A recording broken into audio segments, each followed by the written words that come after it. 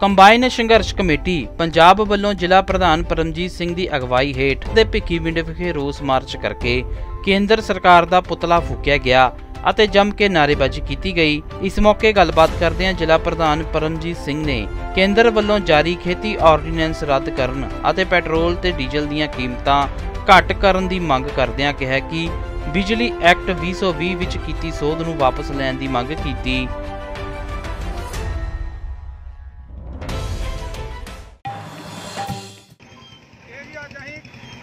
Combine ਸੰਘਰਸ਼ committee ਜ਼ਿਲ੍ਹਾ ਤਰਨਤਾਰਨ ਵੱਲੋਂ ਸਾਰੇ ਹੀ ਜਿਹੜਾ ਤਰਨਤਾਰਨ ਜ਼ਿਲ੍ਹੇ ਦੇ ਬਲਾਕਾਂ ਦੇ ਵਿੱਚ ਅਰਥੀ ਮੁਜ਼ਾਹਰੇ ਕਰ ਰਹੇ ਆ। ਸੈਂਟਰ ਸਰਕਾਰ ਨੇ ਜਿਹੜੇ ਚਾਰ ਆਰਡੀਨੈਂਸ, ਤਿੰਨ ਆਰਡੀਨੈਂਸ ਜਿਹੜੇ ਲਿਆਂਦੇ ਆ, ਖੇਤੀ ਮੰਡੀ ਸਾਡੀ ਤੋੜਤੀ ਆ ਜੀ।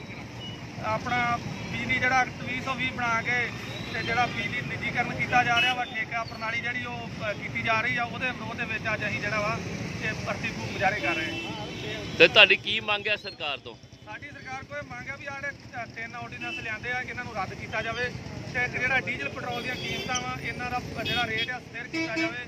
ਅੱਜ ਵੇਖੋ ਜਿਹੜਾ ਡੀਜ਼ਲ ਤੇ ਪੈਟਰੋਲ ਦਾ ਸਿਗਰਾਂ ਦੇ ਭਾਅ ਜਿਹੜੇ ਚੜੇ ਆ। ਤੇ ਜੇ ਮੰਨ ਲਓ ਸਰਕਾਰ ਤੁਹਾਡੀਆਂ ਮੰਗਾਂ ਨਹੀਂ ਮੰਨਦੀ ਤੇ ਤੁਸੀਂ ਅੱਗੇ ਇਸ ਤੋਂ ਅੱਗੇ ਕੀ ਕਰੋਗੇ? ਇੱਥੋਂ ਜੀ ਅੱਗੇ ਜਿਹੜਾ ਵਾ ਅਸੀਂ ਫੇਰ ਜਿਹੜੇ ਸੰਘਰਸ਼ਾਂ ਦੇ ਰਾਹ ਤੇ ਚੱਲਾਂਗੇ।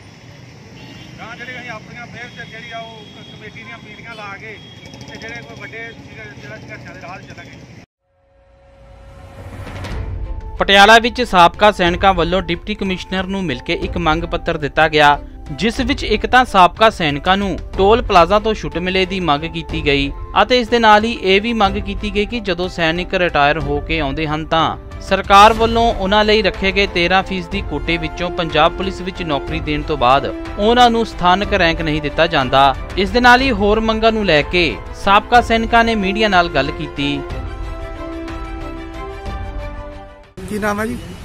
ਗੁਰਤੇਜ ਸਿੰਘ ਦਾਨਗੜ ਐਕਸ ਸਰਵਿਸਮੈਨ ਹਾਂਜੀ ਕੀ ਮੰਗਾ ਮੇਰੀ ਐਸਟੀਸੀ ਦਾ ਮੰਗਾ ਸਾਡੀ ਮੁੱਖ ਮੰਗ ਹੈ ਜੀ ਜਿਹੜੇ ਸਾਡੇ ਰਿਟਾਇਰ ਹੋ ਕੇ ਸਾਬਕਾ ਸੈਨਿਕ 13% ਕੋਟੇ ਦੇ ਵਿੱਚ ਪੰਜਾਬ ਪੁਲਿਸ ਦੇ ਵਿੱਚ ਭਰਤੀ ਹੁੰਦੇ ਨੇ। ਉਹਨਾਂ ਨੂੰ ਜਿਹੜਾ ਲੋਕ ਰੈਂਕ ਨਹੀਂ ਦਿੱਤਾ ਜਾਂਦਾ ਉਹ 40 ਜਾਂ 45 ਸਾਲ ਉਮਰ ਦੇ ਵਿੱਚ ਰਿਟਾਇਰ ਹੁੰਦੇ ਨੇ। ਰਿਟਾਇਰ ਹੋਣ ਤੋਂ ਬਾਅਦ ਉਹਨਾਂ ਨੂੰ ਦੁਬਾਰਾ ਸਿਪਾਹੀ ਭਰਤੀ ਲਿਆ ਜਾਂਦਾ। ਜੋ ਪੰਜਾਬ ਪੁਲਿਸ ਦੀ ਪਾਲਿਸੀ ਹੈ ਉਹ ਹੈਗੀ ਹੈ 16 24 30 ਲੋਕਲ ਰੈਂਕ ਦੀ। ਉਹ ਇਸ ਰੈਂਕ ਤੋਂ ਬਾਹਰ ਚਲੇ ਜਾਂਦੇ ਨੇ, ਉਦੋਂ ਨੂੰ ਰਿਟਾਇਰ ਹੋ ਜਾਂਦੇ ਨੇ। ਅਸੀਂ ਮੰਗ ਕਰਦੇ ਆਂ 8 12 15 ਜਾਂ ਤਾਂ ਕੀਤੀ ਜਾਵੇ, ਜਾਂ 15 ਸਾਲ ਇਹਨਾਂ ਦੀ ਸਰਵਿਸ ਹੈ ਜਿਹੜੀ, ਉਹ ਇਨਕਲੂਡ ਵਿੱਚ ਪੁਰਾਣੀ ਜੋੜੀ ਜਾਵੇ। ਇਹਨਾਂ ਨੂੰ ਜਿਹੜਾ ਸਤਕਾਰ ਇਹਨਾਂ ਦਾ ਬਹਾਲ ਹੋ ਸਕੇ। ਦੂਸਰੀ ਸਾਡੀ ਮੰਗ ਹੈ ਜਿਹੜੀ, ਜਿਹੜੇ ਜੀਓ ਜੀ ਸਾਡੇ ਰੱਖੇ ਨੇ, ਕੈਪਟਨ ਸਾਹਿਬ ਦਾ ਅਸੀਂ ਧੰਨਵਾਦ ਕਰਦੇ ਆਂ ਤੇ ਉਹਨਾਂ ਨੇ ਬਹੁਤ ਵਧੀਆ ਉਪਰਾਲਾ ਕੀਤਾ, ਜੀਓ ਜੀ ਸਾਡੇ ਲਾਏ ਨੇ।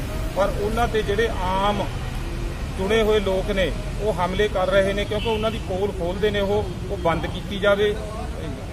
ਠੀਕ ਹੈ ਬੰਦ ਕੀਤੀ ਜਾਵੇ। ਕੀ ਮੰਗ ਕੀ ਆ ਡੀਸੀ ਸਾਹਿਬ ਨੂੰ ਮੰਗ ਪੱਤਰ ਦਾ ਕੀ ਵਿਸ਼ਵਾਸ ਦਿਵਾਇਆ ਗਿਆ? ਅਸੀਂ- ਮੰਗ ਪੱਤਰ ਦਿੱਤਾ ਜੀ ਡੀਸੀ ਸਾਹਿਬ ਨੇ ਸਾਨੂੰ ਵਿਸ਼ਵਾਸ ਦਿਵਾਇਆ ਹੈ ਕਿ ਅਸੀਂ ਤੁਹਾਡਾ ਜਿਹੜਾ ਮੰਗ ਪੱਤਰ ਹੈ ਉਹ ਸਰਕਾਰ ਤੱਕ ਪਹੁੰਚਾ ਦੇਵਾਂਗੇ ਅੱਗੇ ਫਿਰ ਅਸੀਂ ਪਤਾ ਕਰਾਂਗੇ ਜਿਵੇਂ ਵੀ ਸਾਡੀ ਕੋਈ ਗੱਲਬਾਤ ਕੀਤੀ ਸੁਬੇਦਾਰ ਮੇਜਰ ਦਰਬਾਰਾ ਸਿੰਘ from ਪਟਿਆਲਾ। ਹਾਂਜੀ ਹਾਂਜੀ। ਕੀ ਮੰਗਾਂ ਕੀ ਹੈ ਤੁਹਾਡੀ ਸਰ ਮੰਗਾਂ ਹੀ ਅੱਜ ਮਾਨਯੋਗ ਡੀਸੀ ਸਾਹਿਬ ਨੂੰ ਸਾਬਕਾ ਸੈਨਿਕਾਂ ਦੇ ਸੰਬੰਧਿਤ ਮੰਗਾਂ ਲੈ ਕੇ ਹਾਜ਼ਰ ਹੋਏ ਸੀ। ਜਿਹਦੇ ਵਿੱਚ ਉਹਨਾਂ ਦੀਆਂ ਮੇਨ ਮੰਗਾਂ ਹੀ ਜਿਵੇਂ ਕਿ ਵੀਰ ਨੇ ਦੱਸਿਆ ਕਿ ਜਿਵੇਂ ਸਾਡੇ ਪੁਲਿਸਮੈਨ ਆ ਕੇ ਭਰਤੀ ਹੁੰਦੇ ਨੇ ਸਾਡੇ ਐਕਸਰਸਮੈਨ ਉਹਨਾਂ ਨੂੰ ਮਤਲਬ ਉਸੇ ਰੈਂਕ ਦੇ ਵਿੱਚ ਰਿਟਾਇਰ ਹੋ ਜਾਂਦੇ ਨੇ। ਉਹਨਾਂ ਟਾਈਮ ਉਹਨਾਂ ਨੂੰ ਮਿਲਦਾ ਨਹੀਂ ਗਏ ਮਿਲਦਾ ਨਹੀਂ ਆ ਕੇ ਕੋਈ ਕੈਪਟਨ ਸਾਹਿਬ ਆਉਂਦਾ ਉਹ ਵੀ ਆ ਕੇ ਲੈਸਨੈਕ 'ਚ ਭਰਤੀ ਹੁੰਦਾ ਸਫ਼ਾਈ 'ਚ ਭਰਤੀ ਹੋ ਸਫ਼ਾਈ ਦੇ ਵਿੱਚ ਹੀ ਪੈਨਸ਼ਨ ਚਲਾ ਜਾਂਦਾ ਉਹ ਤੋਂ ਬਾਅਦ ਹੈ ਕਿ ਅਸੀਂ ਘੱਟੋ ਘੱਟ ਵੀ ਕੋਈ 35 ਸਾਲ 40 ਸਾਲ 30 ਸਾਲ ਸਰਵਿਸ ਕਰਨ ਤੋਂ ਬਾਅਦ ਅਸੀਂ ਸਿਰਫ ਇੱਕ ਪੰਜਾਬ ਦਾ ਮਤਲਬ ਮਾਹੌਲ ਦੇ ਵਿੱਚ ਅਸੀਂ ਆਉਨੇ ਆ ਪਰ ਪੰਜਾਬ ਦੇ ਮਾਹੌਲ ਦੇ ਵਿੱਚ ਜਦੋਂ ਵੀ ਸਾਨੂੰ ਫਿਰ ਟੋਲ ਕ੍ਰਾਸ ਕਰਨਾ ਪੈਂਦਾ ਹੈ ਉਹ ਐਕਸਰਸਮੈਨ ਤੋਂ ਪਹਿਲਾਂ ਜਦ ਕਿ ਪਤਾ ਹੈ ਕਿ ਤਾਂ ਐਕਸਰਸਮੈਨ ਨੂੰ ਜਾਂ ਸਰਵਿਸਮੈਨ ਨੂੰ ਜਿਹਨੂੰ ਵੀ ਐਕਸਕਿਊਜ਼ ਹੈ ਕਈ ਸਟੇਟਾਂ 'ਚ ਹੈ। ਪਰ ਸਾਡੇ ਪੰਜਾਬ ਗਵਰਨਮੈਂਟ ਤੋਂ ਅਸੀਂ ਕੈਪਟਨ ਅਮਰਿੰਦਰ ਸਿੰਘ ਤੋਂ ਮੰਗ ਕਰਦੇ ਹਾਂ ਕਿ ਕਿਸੇ ਤਰ੍ਹਾਂ ਜੋ ਐਕਸਰਸਮੈਨ ਨੇ ਉਹਨਾਂ ਨੂੰ ਟੋਲ ਪਲਾਜ਼ਾ ਤੋਂ ਫ੍ਰੀ ਐਂਟਰੀ ਦਿੱਤੀ ਜਾਵੇ। ਡੀਸੀ ਸਾਹਿਬ ਨੇ ਕੀ ਵਿਸ਼ਵਾਸ ਡੀਸੀ ਦਿਵਾਇਆ ਸਾਹਿਬ ਨੇ ਵਿਸ਼ਵਾਸ ਦਿੱਤਾ ਕਿ ਉਹਨਾਂ ਵੱਲੋਂ ਸਾਨੂੰ ਜੋ ਮੰਗਾਂ ਉਹਨਾਂ ਲਈ ਸੁਝਾਈਆਂ ਗਈਆਂ ਨੇ ਉਹ ਉਹਨਾਂ ਨੂੰ ਕੈਪਟਨ ਤੱਕ ਕੈਪਟਨ ਸਾਹਿਬ ਤੱਕ ਪਹੁੰਚਾਉਣਗੇ ਤੇ ਉਹਨਾਂ ਦੀ ਰਿਕਮੈਂਡ ਕਰਨਗੇ।